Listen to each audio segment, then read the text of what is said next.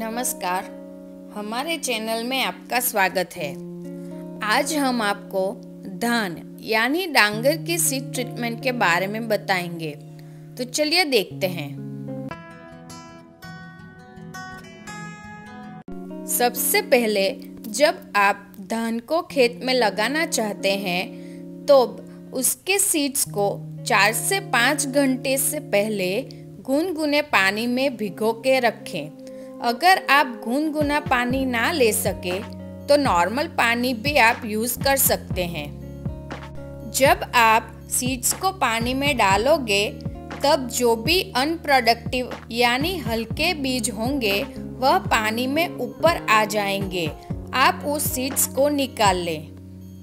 चार से पाँच घंटे भिगोने के बाद उस सीड्स को आप निकाल लीजिए और उसके बाद उस सीड्स को वन वृद्धि वेजिटेबल पाउडर का कोटिंग कर लें।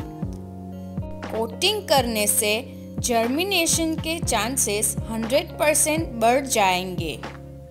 खेती से जुड़ी और जानकारी के लिए आप हमारे YouTube channel A B C वेस्मा को सब्सक्राइब करें और हमारे Facebook page A B C वेस्मा को लाइक करें। धन्यवाद।